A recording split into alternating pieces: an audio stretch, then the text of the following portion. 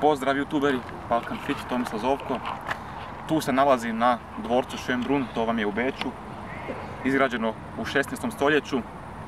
Sad sam bio išao trčati, ja vam tu trčim dnevno po 5-6 km dok sam u Beču. Tu mi je škola. I šta vam želim reći, trčanje ima jako puno pozitivnih aspekta na vaše tijelo, na vaše zdravlje, općenito.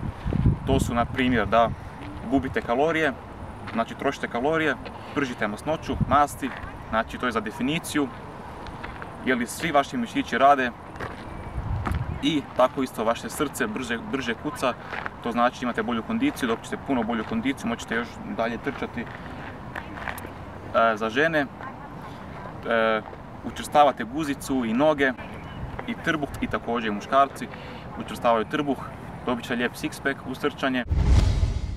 Zato se potrudite da idete uvijek redovno na trčanje, recimo za početak 3 do 4 km svaki dan, to je bilo otprilike sat vremena, ako laganinije trčate. I toga se držite. Vidimo se uskoro na novom klipu Balkan Fit. Ako vam se ovaj video svidio, znate uvijek ostavite jedan like, pretplatite se na moj YouTube kanal Balkan Fit, to meni puno znači, za vas je besplatno. Hvala na vašem suportu, vidimo se uskoro, Tomislav Zovko. Welcome fit. Welcome fit. Welcome fit. Welcome fit.